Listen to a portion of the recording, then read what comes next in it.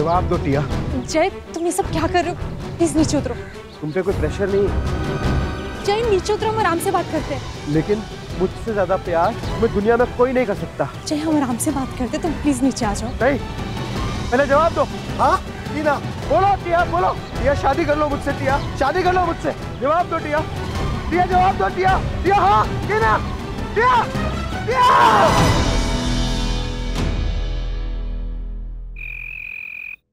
माँ एटलीस्ट दवाई तो टाइम पे ले लिया कीजिए। आप बड़ी हो गई हैं लीजिए बड़ी भी और बूढ़ी भी। Tia you should get married now बेटा। मरने से पहले तेरी शादी देखना चाहती थी बस। माँ अब इतना फिल्मी मत बनी। आपका बाईपास जल्दी हो जाएगा और बहुत साल जिएँगी आप। हम्म? लीजिए।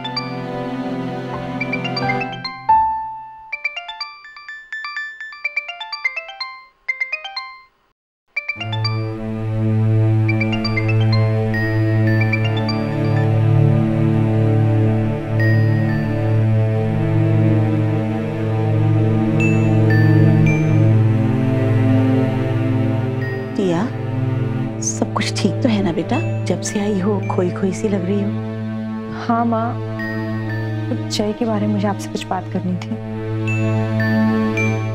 माँ वो मैं देखती हूँ।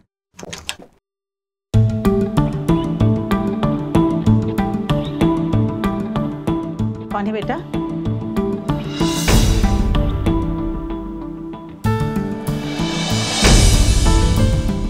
इवनिंग आंटी अंदर आओ बेटा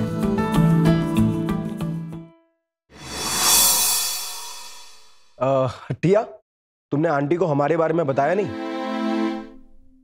चलो कोई बात नहीं मैं बता देता हूँ। आंटी टिया और मैं शादी करने वाले हैं। अच्छा अच्छा बाकी सारी बातें बाद में। इट्स टाइम टू सेलिब्रेट मैं अपनी फेवरेट बेकरी से ये देखिए। आओ टिया काटो उसको। अरे आओ ना आ जाओ। काटो ये यस ये लो।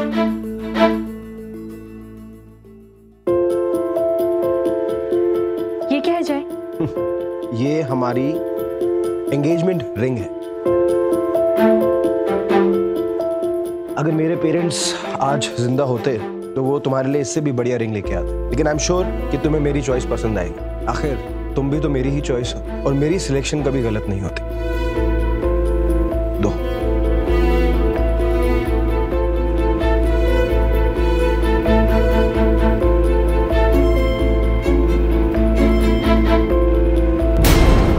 मुझे अकेले में तुमसे कुछ बात करनी ऐसी क्या बात होगी दिया? हाँ? अपनी मम्मी के सामने भी कर सकती हो? नहीं माँ हम अभी आते हैं।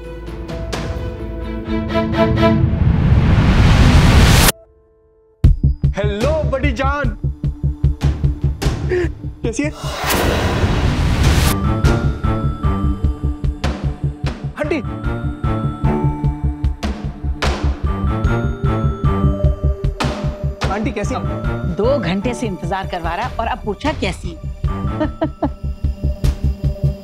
वैसे लग तो बहुत ही ब्यूटीफुल रही है। झूठा कहीं का। जो भी है एटलीस्ट अपनी बेटी की तरह नहीं है। जब से अपना खुद का बिज़नेस स्टार्ट किया ना एक मिनट नहीं है इसके बाद बात करने के लिए। तभी मैंने सोचा कि अपनी कजिन का लहंगा ना इससे डिज़ाइन करवाता हूँ काम के बहाने कम से कम बात तो करेगी।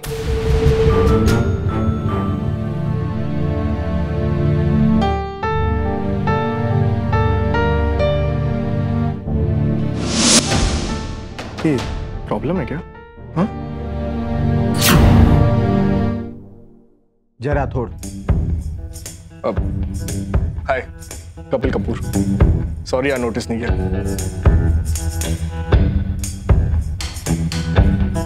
जय टिया के बिज़नेस में इन्वेस्टर हो ना राइट और टिया का मंगेतर भी।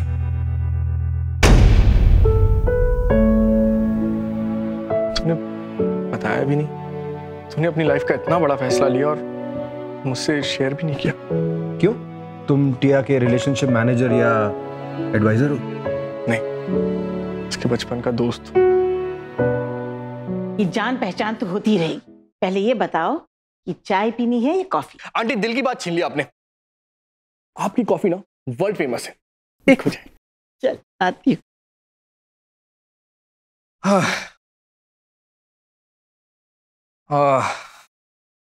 चल माफ़ किया। पर आज के बाद तेरे और मेरे बीच में कोई एक्सक्यूज नहीं आना चाहिए हाँ? टिया तुम्हें अकेले में कुछ बात करनी थी ना? चले। कौन सी? कहाँ चले? भाई तुम लोग तो अब अकेले में कभी भी बात कर सकते हो ना। मैं तो आज के लिए आया हूँ। या वो वो लहंगा दिखाना यार।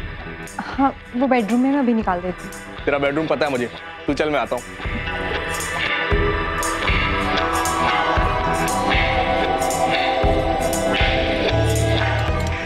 टिया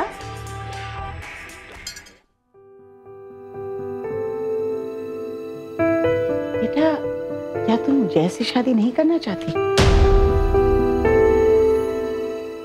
नहीं माँ। टिया ये फैसले दिल से किए जाते हैं बेटा। मजबूरी में नहीं। अगर तुम्हें जय पसंद नहीं था तो तुमने हाँ नहीं कहनी चाहिए थी। माँ मैंने एक महीने से उसे कोई जवाब नहीं दिया था। जब उसने आत्महत्या करने की धमकी दी तो व्हाट आत्महत्या? वो ब्लैकमेल कर रहा है तुम्हें? अगर ज़बरदस्ती तुमने कभी हाँ कह भी दी तो क्या हो गया? पत्थर की लकीर थोड़ी ना है। मैं अभी जाकर उसको मना करती हूँ। माँ माँ इतना ओवर एक मत कीजिए। ऐसे भी कपिल अब यहाँ है। कहीं जाए की ईगो हर्ट होगी तो फालतू बात का बतंगड़ बन जाए। आई डोंट केयर उसको अच्छा लगे या बुरा? उसकी ईगो हर्ट हो या नहीं? मुझे कोई फ़र्क नहीं पड़ता। इसी समय वो पानी से नोट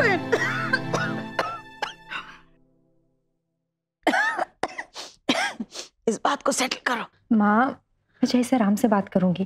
टिया देख तुझे किस बात की चिंता है बेटा? हाँ? क्या तुम्हें इस बात की चिंता है कि जय अपनी इन्वेस्टमेंट तुम्हारे बिज़नेस से वापस ले लेगा? तो लेने दो हम मैनेज कर लेंगे।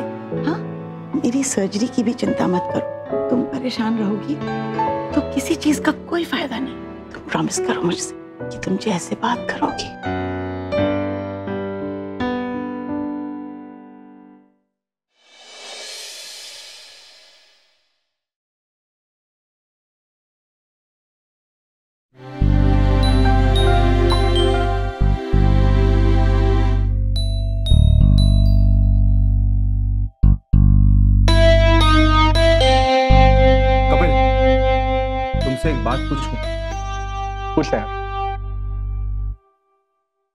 तुम्हें ये सब अच्छा लगता है?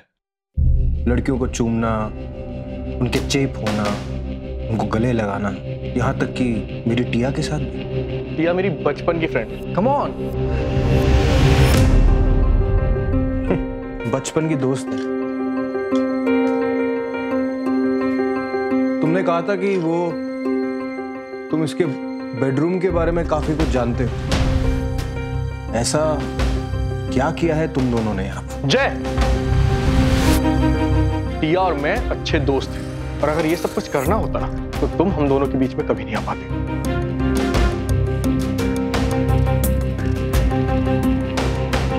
मैं तुम दोनों के बीच में नहीं आता।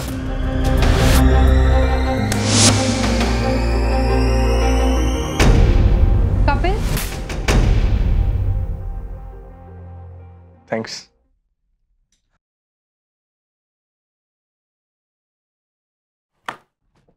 तुम दोनों लहंगा नहीं देखा अभी तक? अरे ये देखो ना। ये लहंगा है। क्या बात है मेरी बड़ी जान। अरे ऐसा लहंगा तो कोई डिज़ाइनर भी नहीं बना सकता। हाथ दिखा हाथ दिखा हाथ दिखा।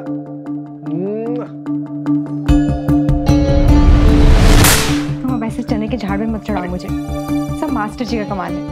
मैंने सिर्फ़ डिज़ाइन किया है बस। एक बात बताऊँ जो बात तुझ में है ना वो किसी में नहीं है यार। हाँ सही कहा। जो बात इसमें है, वो और किसी में नहीं। आई एम श्योर कि तुम हमारी शादी में इससे भी अच्छा लहंगा बनाओगे है ना?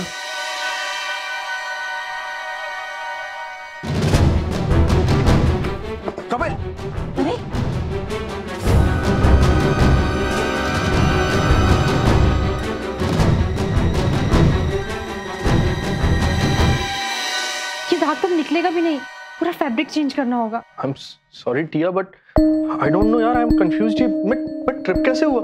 डोंट वरी थैंकफुली मेरे पास कुछ फैब्रिक है बुटीक में और हमें जल्दी जाके ये सब चेंज करना होगा। कपिल तुम मेरे साथ चलो। वहाँ पर सिर्फ़ आज रात का वक्त है। कपिल तुम आराम करो। वैसे भी मैं और टिया मैनेज कर लेंगे ठीक है? नहीं। कपिल तुम टिया के साथ जाओ बेटा। जी। जय। रात बहुत हो गई बेटा। तुम घर जाओ। ये दिन संभाल लेंगे। ऐसे कैसे आंटी? इस वक्त कपिल और टिया अकेले? मेरा मतलब यह है कि अगर मैं जाऊँगा उनके साथ तो अगर बाई चांस हम लेट हो गए तो कपिल एयरपोर्ट जा सकता है और फिर टिया को मैं घर छोड़ दूँगा। वैसे भी बहुत रात हो चुकी है। It's not it's not safe नहीं नहीं ऐसी कोई बात नहीं है। देखो इन सब बातों का टाइम नहीं है हमारे पास। तुम दोनों मेरे साथ चलो। हाँ।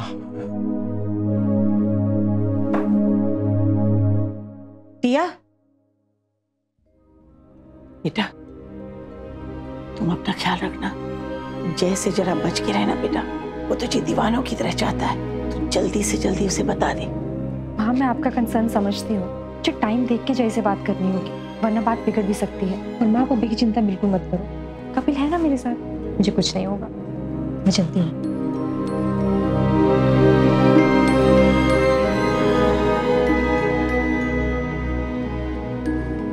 कभी कभी हम सबके साथ ऐसा हो जाता है कि हम चाह कर भी ना नहीं बोल पाते व्यवहार, शिष्टाचार, शर्म या फिर कोई भावनात्मक दबाव हमारी अपनी इच्छाओं के आड़े आ जाता है, जो कभी कभी हमारे लिए खतरनाक भी हो सकता है। पिया के साथ भी यहाँ कुछ ऐसा ही हो रहा था। वो जय से शादी नहीं करना चाहती थी, लेकिन हालात के आगे मजबूर थी। माँ की बीमारी, जय का दबाव, शादी ना करने पर खुशी की धमकी और ऊपर से बिज़नेस में पार्टनरशिप छूटने का डर। कुल मिलाकर ये तमाम वजह टिया को कमज़ोर बना रही थी और जय को उस पर हावी लेकिन क्या ये सही था? आखिर टिया कब तक अपनी असली भावनाओं को जय से छिपा पाएगी? यूँ डर के दबाव में आकर लिया गया उसका ये फैसला कहीं उसके लिए खतरनाक साबित तो नहीं होगा। जय वो मैं तुमसे कुछ कहना चाहती थी। लेकिन उससे पहले मैं तुमसे कुछ कहना चाहता हूँ। टिया मैं तुमसे शादी नहीं कर सकता।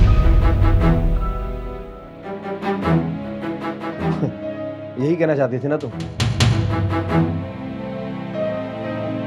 मैं देखना चाहता था कि ये कहने और सुनने में कैसा लगता है। टिया मेरे माँ बाप के मर जाने के बाद मैं बहुत अकेला हो गया था।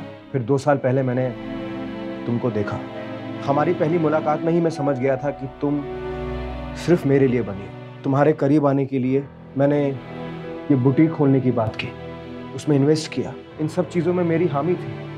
और तुम मुझे ही ना बोल रही है टिया। मैं तुमसे बहुत प्यार करता हूँ टिया। मैं ना नहीं सुन सकता टिया। और तुमसे तो बिल्कुल नहीं। तुम सिर्फ़ मेरी हो और जो मुझे चाहिए होता है वो मैं लेकर ही रहता हूँ। जय मुझे लग रही है।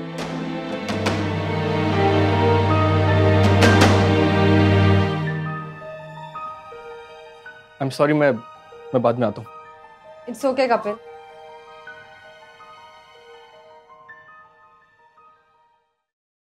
क्या यार, तू बहुत कमीना है, हमेशा गलत वक्त पे आ जाते सही कह रहा है यार तू। अगर सही वक्त पर आता तो किसी से अपने दिल की बात तो कह पाता।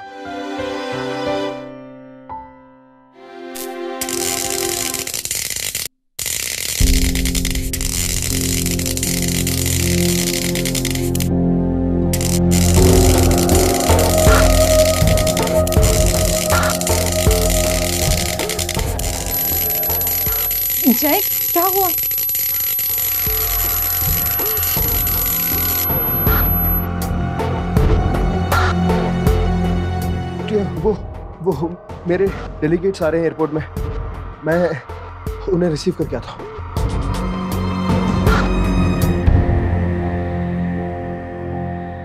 ये क्या था? पता नहीं।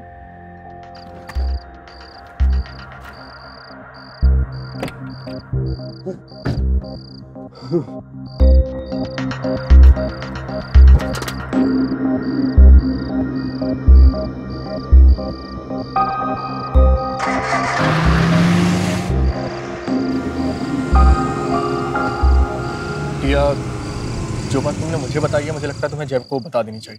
अगर तुम्हें उसके इन्वेस्टमेंट की फ़िक्र है तो डोंट वरी मैं हूँ ना। हम मिलकर कुछ जुगाड़ कर लेंगे। तू कहे तो मैं बात करूँ उससे? नहीं अ, तुमने देखा ना वो तुमसे कितना चिढ़ता है। और मैं कल ही उससे बात करती हूँ। अच्छा चलो मैं तुम्हें एयरपोर्ट छोड़ देती हूँ। अब तुम मुझसे फॉर्मेलिटी करेगी। कोई ज़रूरत नहीं। अरे यहाँ आगे से मुझे टैक्सी मिल जाएगी मैं चला जाऊँगा। वैसे भी रात बहुत हो गई है। आंटी घर में अकेली है तू जा। आओ दादा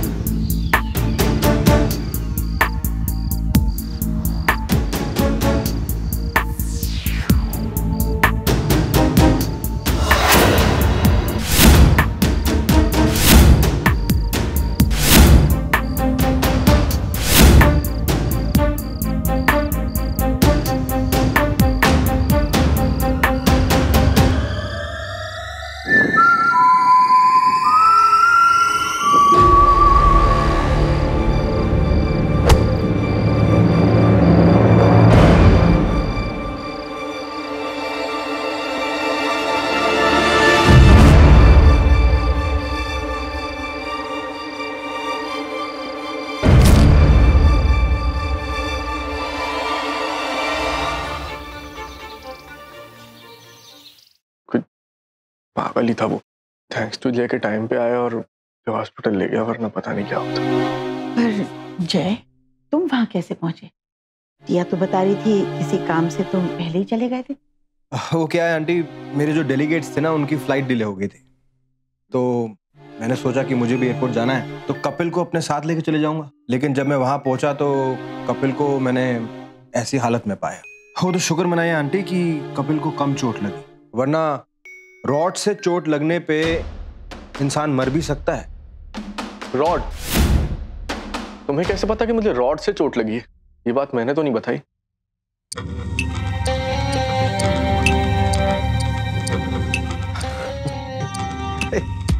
उसने कहा था ना कि उसके हाथ में कोई हथियार था तो मैंने बस गेस किया कि रॉड थी। हाँ? चलो ये सब बातें छोड़ो मैं आप सबके लिए एक बढ़िया सा नाश्ता तैयार करता हूँ। कपिल तुम्हारी फ़्लाइट मिस हो गई थी ना? तो जब तक मैं नाश्ता तैयार कर रहा हूँ तब तक तुम शाम के लिए अपनी फ़्लाइट की टिकट भी बुक कर लो।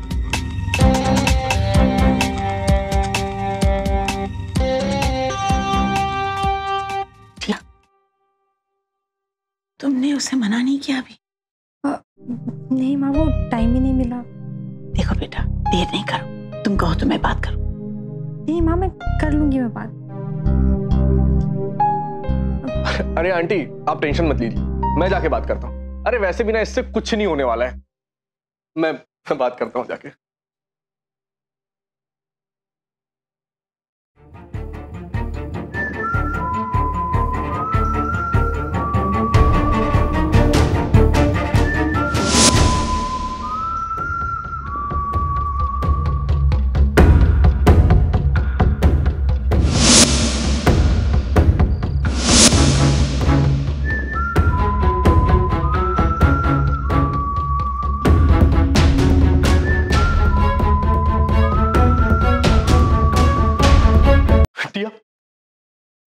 क्या हुआ? कपिल तुम इतने घबराए हुए क्यों? या वो कल रात जिस आदमी ने मुझ पर हमला किया था वो कोई और नहीं है? वो जय है। क्या? कल रात वो आदमी जो सीटी बजा रहा था मैंने अभी जय को वही सीटी बजाते हुए सुना है। अरे क्या वो खाओ ना। भूख नहीं है। आंटी आप चिंता मत कीजिए। शादी के बाद ना मैं टिया को खुद अपने हाथों से ब्रेकफास्ट बना के खिलाऊँगा।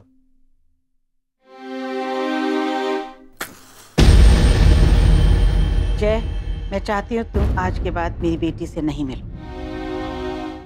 वो तुम्हें प्यार नहीं करती और ज़बरदस्ती से कोई रिश्ता नहीं होता। और मैं ये भी चाहती हूँ कि तुम आज के बाद इस घर में ही ना आओ। यही अच्छा होगा कि तुम आज अभी इसी समय यहाँ से चले जाओ।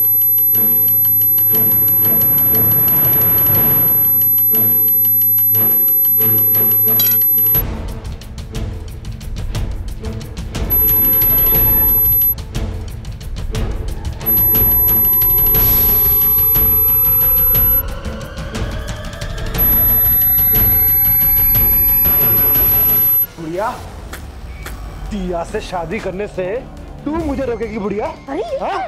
जय। ये क्या बदतमीजी है?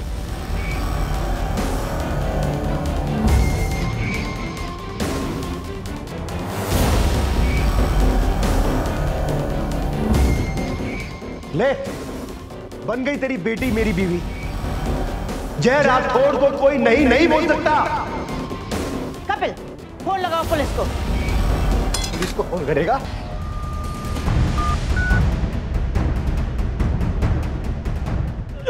बुढ़िया। हाँ?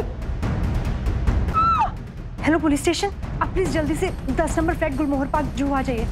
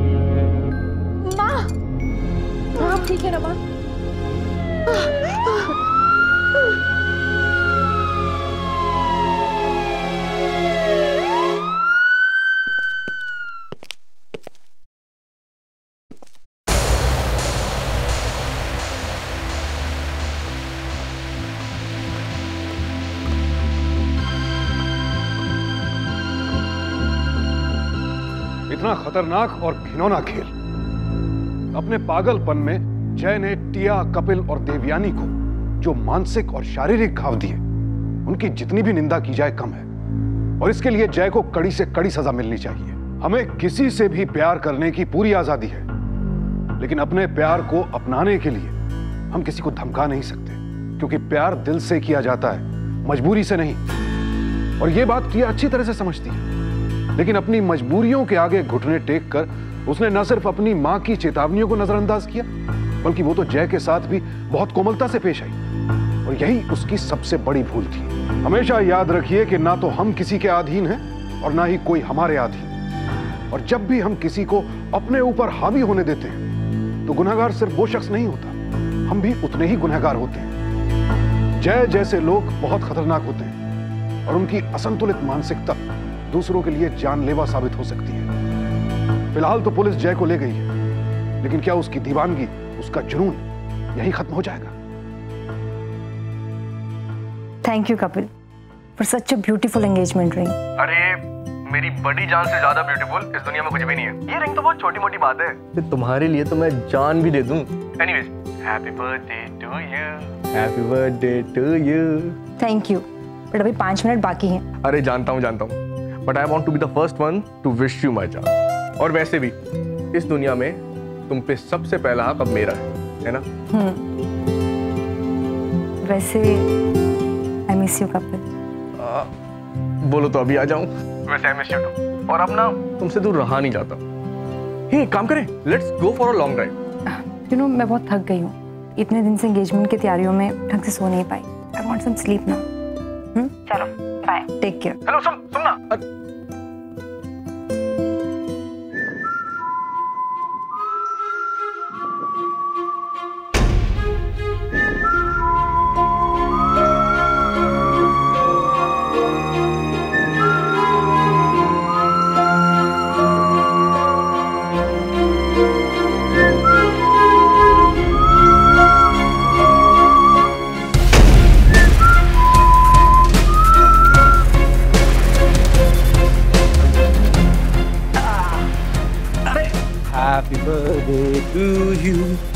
Happy birthday to my dear Tia.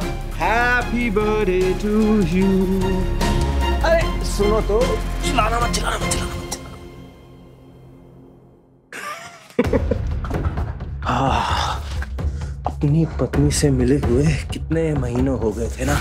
हाँ और जब मैं यहाँ पर आया तो ये क्या? हाँ सारी तैयारियाँ देखकर चौंक गया।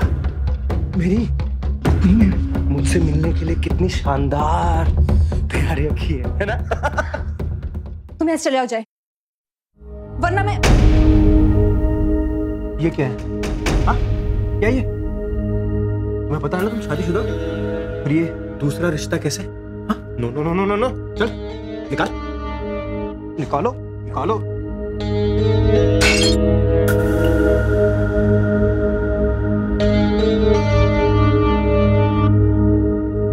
तुमसे कोई रिश्ता नहीं। नहीं नहीं नहीं नहीं नहीं। नहीं नहीं सुनता जय। भूल गई। हाँ? याद दिलाना पड़ेगा फिर से। और रही बात तेरी माँ की और कपिल की। उनको तो मैं ज़िंदा नहीं छोड़ूँगा।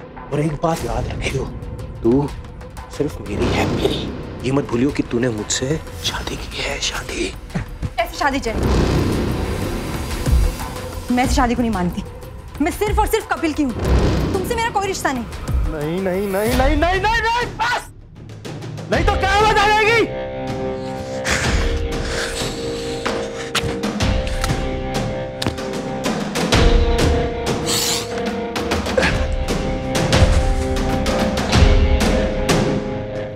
और रही बात शादी के रिवाज की तो तुम्हारा दिल रखने के लिए आज से अच्छा दिन कहाँ मिलेगा? आज के बाद तुम्हारा जन्मदिन और हमारी शादी की सालगिरह इसी दिन मनाई जाएगी आज हम फिर से शादी करेंगे। शोर मत मचाना। और कोई गलती मत करना, जैसे कि पुलिस को बुलाना या फिर कपिल या तेरी माँ को कुछ भी बताना याद है ना, कि मैं उनका क्या हाल करूँगा। और इस बार मुझे कोई जेल नहीं भेज सकता। इस बारी में कोई सुराग नहीं छोड़ूँगा। बस सब कुछ तमाम कर दूँगा। माँ और कपिल को भी तमाम करके रख दूँगा। और शाम को तैयार रहना मैं मिलने आऊँगा। ठीक है जान?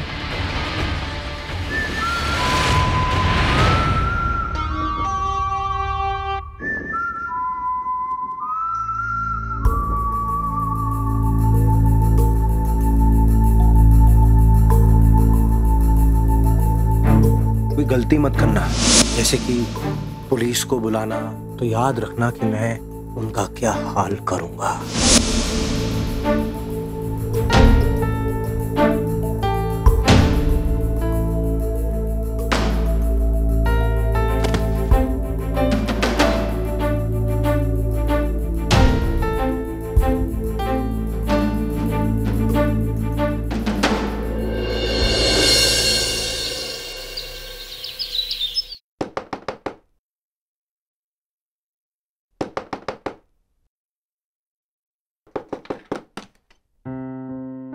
मॉर्निंग टिया। अरे कल रात ने कपड़े नहीं बदले? Happy birthday Tia. भगवान तुम्हें ढेर सारी खुशियाँ दे। हम्म? हाँ जल्दी से कमरा ठीक कर देती हूँ माँ वो मुझे आपसे कुछ कोई गलती मत करना। जैसे कि कपिल या तेरी माँ को कुछ भी बताना। याद है ना? कि मैं उनका क्या हाल करूँगा।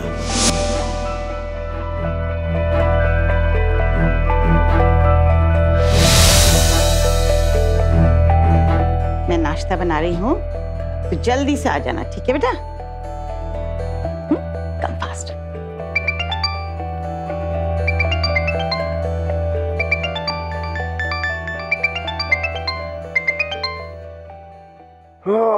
गुड मॉर्निंग जान बस अब कुछ घंटे बचे हैं तुम्हारी रस्मों वाली शादी होने को। उसके बाद तुम हमेशा के लिए मेरी। हमारी शादी नहीं होगी जय। और ना ही आज के बाद तुम मुझे कोई फ़ोन करोगे। वरना पुलिस को यहाँ बुला लूँ। मना किया था ना मैंने। लेकिन तुम मेरी बात सुनती कहाँ जाओ दरवाज़ा खोलो। तुम्हारे लिए मैंने एक खास तोहफा भेजा है। एकदम ताज़ा बकरा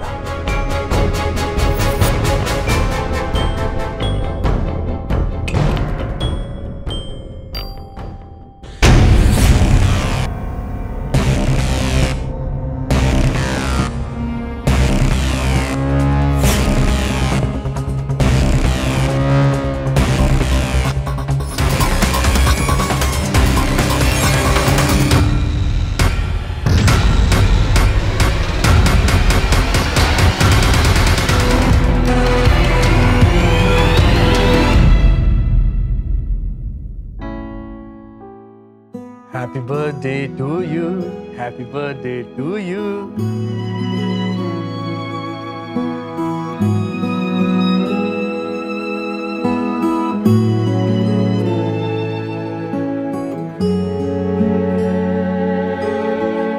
कपिल हम्म? मुझे तुमसे कुछ कहना था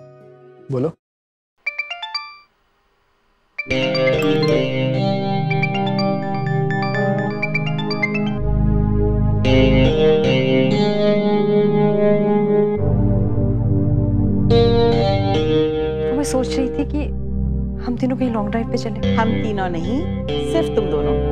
मैं कबाब में हड्डी क्यों बनूं? अरे आंटी जब कबाब ही नहीं रहेगा तो हड्डी कैसे रहेगी? मेरे बॉस का मैसेज है। कोई नया क्लाइंट है उसके साथ मीटिंग है। नेक्स्ट फ़्लाइट लेके दिल्ली बुलाया है। सॉरी बटी जान जाना पड़ेगा। बट ट्रस्ट मी बिल्कुल भी मन नहीं तो मत जाओ कोई बहाना बना दो। काश कुछ बहाना बना पाता और इस बार जाना पड़ेगा। बट टेंशन मत लो। दो दिन में वापस आऊँगा और फिर हम तीनों मिलकर तुम्हारा बर्थडे सेलिब्रेट करेंगे। अच्छा चलता खुश रहो बेटा।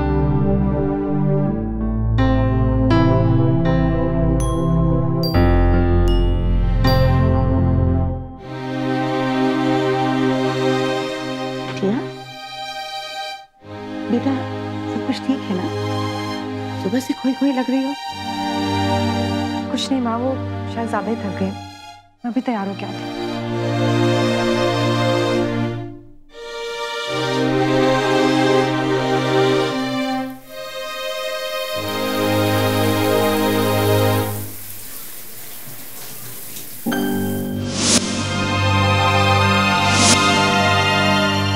गलती मत करना। जैसे कि पुलिस को बुलाना तो याद रखना कि मैं उनका क्या हाल करूँगा।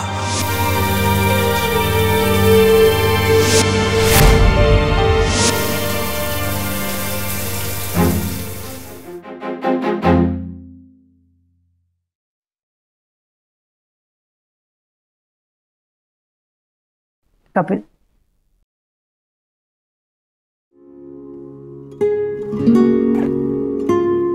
Hello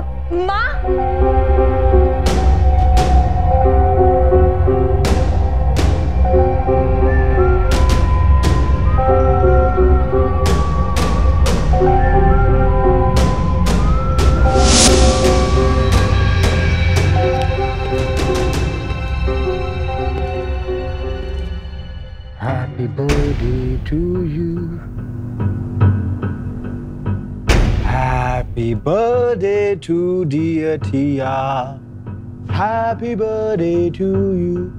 घर के खिड़की दरवाजे बंद रखने चाहिए ना? कोई भी कहीं से भी आ सकता है। जैसे कि छत से है ना? माँ माँ। माँ सासू माँ वो देखो वहाँ पर। चुपचाप बैठे तुम्हारा इंतज़ार कर रही है। देखो कैसे चुपचाप बैठ के तुम्हारा इंतज़ार कर रही है हाँ? क्योंकि अगर उन्होंने शोर मचाया तो मैं सुन नहीं पाऊँगा। और अगर तुमने कुछ किया तो सह नहीं पाऊँगा।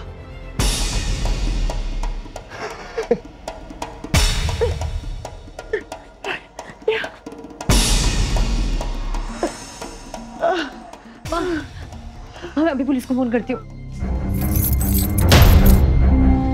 इंस्पेक्टर साहब प्लीज़ मेरी जान बचाइए इंस्पेक्टर साहब। इंस्पेक्टर साहब मेरी सास मुझे मार देगी। इंस्पेक्टर साहब मुझे डर लग रहा है प्लीज़ प्लीज़ जल्दी आइए इंस्पेक्टर साहब।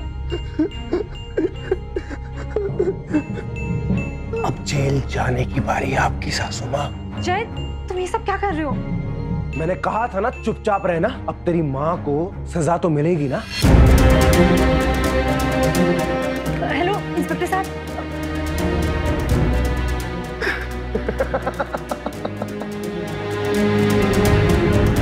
फ़ोन नहीं लगाया मैंने। लेकिन अब ना ही तुम दोनों यहाँ से बाहर जा सकते हो और ना ही किसी से बात कर सकते हो। बस यहाँ बैठकर मेरी शादी की मुहूर्त का इंतज़ार करोगे। क्योंकि सासू माँ आपकी बेटी से तो मैं आज ही शादी करूँगा ना? हाँ। चल चल। अरे सासू माँ कहाँ भाग रहे हो आप? तो अपने कमरे में घुस जाना और अंदर से दरवाज़ा बंद कर देना। जा जा जा। सासू माँ, आप उसे कहाँ छुपा रही हो? उसे तैयार कीजिए, क्योंकि इस बार मैं कोई चूक नहीं करूँगा।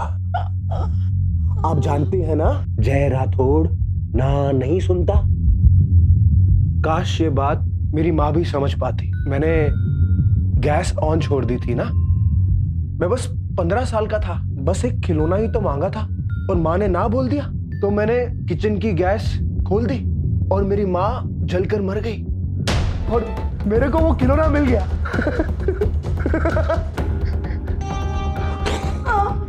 मैं बहुत खतरनाक इंसान टिया को बोलो जल्दी से तैयार होके बाहर आ जाए। नहीं। जान जान बाहर आ जाओ। नहीं तो मेरी सासू माँ तुम्हारी सासू माँ के पास भेज दूँगा। हाँ? बाहर आ जाओ। आ जाओ।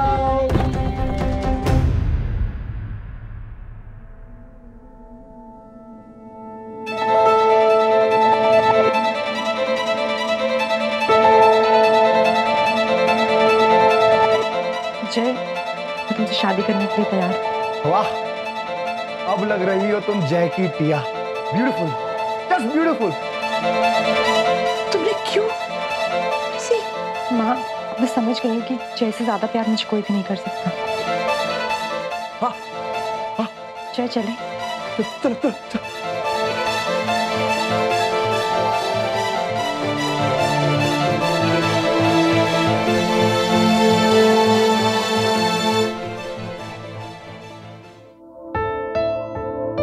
ये हमारे रिश्ते के लिए जय क्या तुम सात जन्मों तक सात वचन निभाने के लिए तैयार हो? हाँ। तुम हमेशा मेरा ख्याल रखोगे। हाँ। अगर मुझे कुछ हो जाए तब भी मेरा साथ दोगे। हाँ। हर खुशी हर गम में मेरा साथ दोगे। हाँ। मेरी फैमिली को हमेशा अपनी फैमिली मानोगे। हाँ। टिया बेटा ये क्या पागलपन है? क्यों कर रही हो ये? मत करो ये शादी। मुझे हमेशा खुश रखोगे। हाँ टिया। और आखिर में मेरी हर बात मानकर इन सभी वादों को पूरा करोगे। हाँ बिल्कुल पूरा करूँगा। फेरे ले हाँ।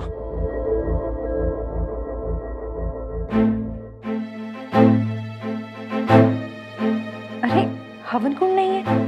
जय शादी तो अग्नि को साक्षी मानकर ही हो सकती है ना? अग्नि अग्नि की क्या ज़रूरत है? भगवान है ना?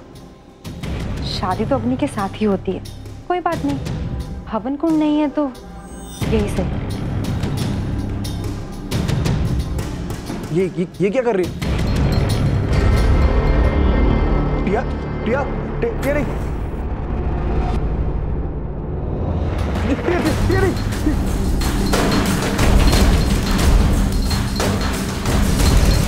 राख भी क्या कमाल की चीज़ है ना जब कभी कभी किसी को जलाकर राख कर देती है और कभी कभी प्यार करने वालों का इम्तिहान ले लेती है। तो जय तुम अपने प्यार की परीक्षा देने के लिए तैयार हो? क्या हुआ जय? तुम तो मुझे सच्चा प्यार करते थे ना? तुम्हें कुछ नहीं होगा?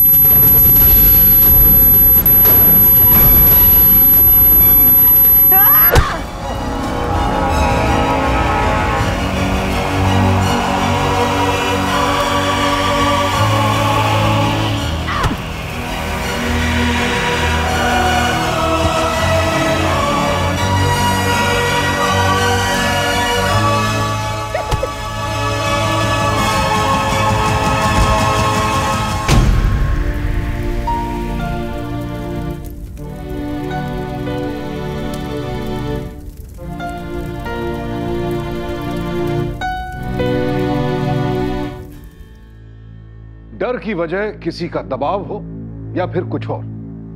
उसकी असल जड़ हमेशा हमारी कमज़ोरी होती है और उसका परिणाम कभी भी अच्छा नहीं होता।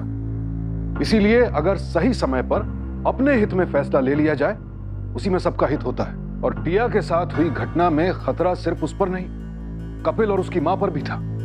इसीलिए अपने ऊपर आए खतरे के बारे में वक्त रहते अपने हमदर्द और परिवार वालों को बता देना चाहिए। और अगर खतरा इस हद तक हो जितना कि टिया के केस में था तो पुलिस को इतला देने में एक पल भी ना गंवाए। क्योंकि सावधानी आपकी, सुरक्षा अपनों की। सावधान इंडिया। तो सावधान